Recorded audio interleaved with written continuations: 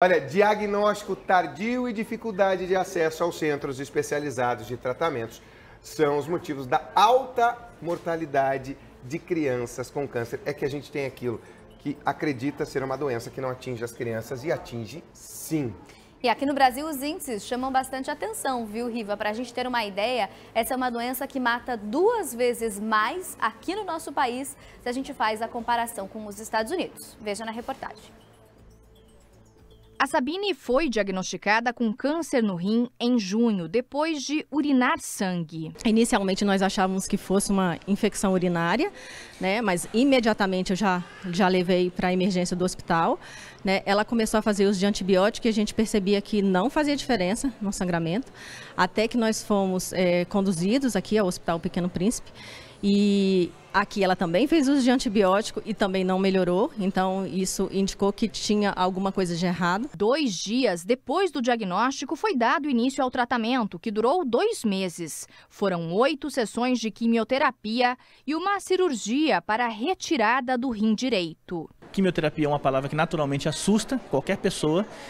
E na hora que a médica falou a quimioterapia começa hoje, dois dias depois do diagnóstico, a gente falou, mas hoje?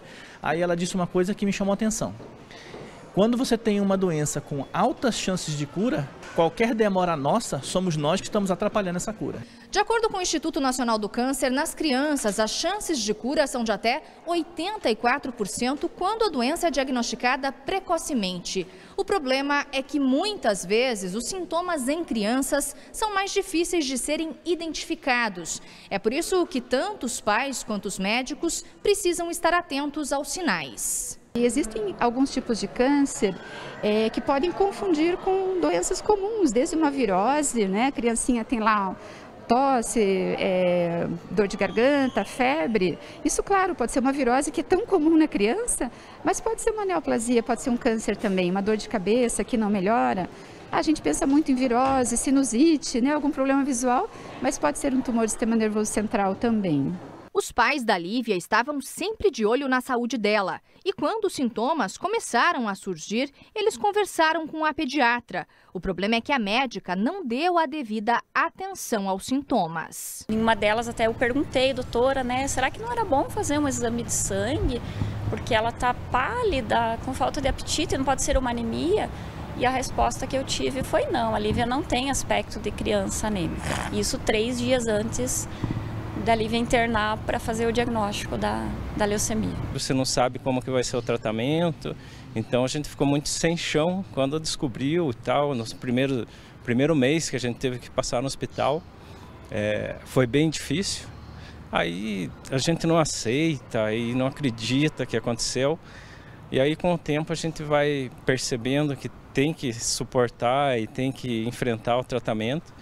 E aí a gente vai vai amenizando a situação e vai vendo que tem que ser feito daquele jeito e, e daí tem que prosseguir, não adianta. Nas crianças, os tipos de câncer mais comuns são leucemias, tumores no sistema nervoso central, linfomas, neuroblastoma e tumores nos rins. E em 70% dos casos, a doença se manifesta nos primeiros 5 anos de idade. Apesar de muito novinhas, elas costumam responder muito bem ao tratamento. Quanto mais precoce o diagnóstico do câncer, melhores as chances de cura e também os tratamentos são menos agressivos. Então, se eu tenho um diagnóstico tardio de uma criança, por exemplo, que poderia com apenas uma cirurgia ficar curada, essa criança, quando o diagnóstico for tardio, muitas vezes ela vai precisar de uma quimioterapia, eventualmente uma quimioterapia mais agressiva. O diagnóstico da Lívia para a leucemia foi tardio e ela precisou encarar um longo e difícil tratamento. Foram dois anos e sete meses de quimioterapia. Mas deu tudo certo. A Lívia hoje está totalmente curada. A maior alegria é ver ela saudável, bem, correndo, brigando, brincando. A Lívia hoje é uma alegria para nós. E ela é uma criança alegre e cheia de planos, quer ser médica. Eu quero ser uma doutora bem linda e eu quero cuidar de todas as criancinhas. E para as crianças que estão enfrentando o câncer, ela deixa um recadinho. Crianças, não tenham medo, logo logo já vai passar. Quero ser não ela é. já é. Já, já é. é. linda. Uma doutora da esperança, de mostrar que dá, que é possível, né? Ah, se a gente tivesse a força que as crianças têm, né?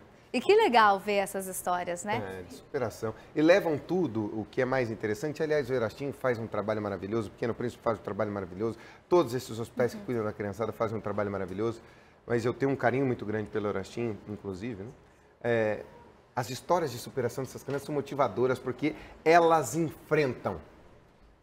Hã? É isso. Elas vão de frente com uma leveza, com um sorriso e ainda dando exemplo pra gente. A E é dando força uma para as Ah. outras, para a família muitas vezes, né? Muito, muito legal ver essas histórias. Mas sempre olhar, cuidar, levar a criança ao pediatra. Como é o nome dela, Naca? Lívia. Lívia, eu quero ver um dia você cuidando de mim e da Manu. A gente já É velhinho e você cuidando de nós. É isso. A Manu não fica velha nunca, né? Tem